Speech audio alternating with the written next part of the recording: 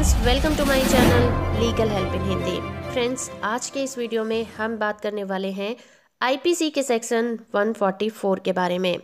अपनी पिछली दो वीडियोस में हमने जाना था आईपीसी के सेक्शन 141, 142 और 143 के बारे में जो कि इंडियन पिनल कोड 1860 के चैप्टर 8 में सेक्शन 141 से 160 तक बताए गए हैं।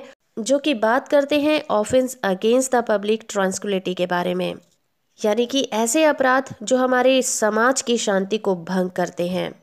आईपीसी की धारा 144 हमें ये बताती है कि ऐसा कोई व्यक्ति जब किसी अनलॉफुल असेंबली में शामिल होता है, जिसके पास डेडली वेपन्स होते हैं तो वो आईपीसी के सेक्शन 144 में डिफाइन होता है। तो चलिए बात करते हैं इंडियन पिनल कोड सेक्शन 144 के बारे में।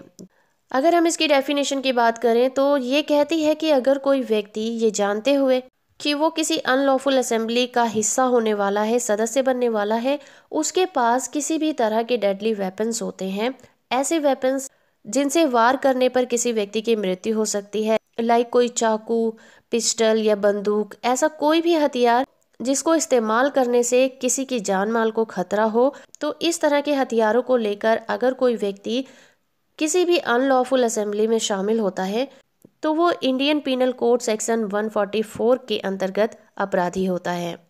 आईपीसी का सेक्शन 144 सेक्शन 141 और 142 से बड़ा अपराध माना जाता है, क्योंकि माना यह जाता है कि किसी डेडली वेपन्स के साथ किसी असेंबली में शामिल होना ही उनके इंटेंशन को बताता है कि वो किसी क्राइम को करने के लिए निकले हैं।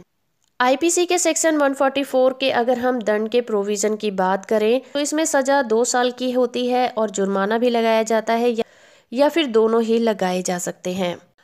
तो फ्रेंड्स ये था एक छोटा सा वीडियो आईपीसी के सेक्शन 144 के बारे में। आई होप कि ये जानकारी आपको अच्छी लगी होगी। वीडियो अच्छा लगा है तो आप इसे लाइक और शेयर ज़रूर करिएगा।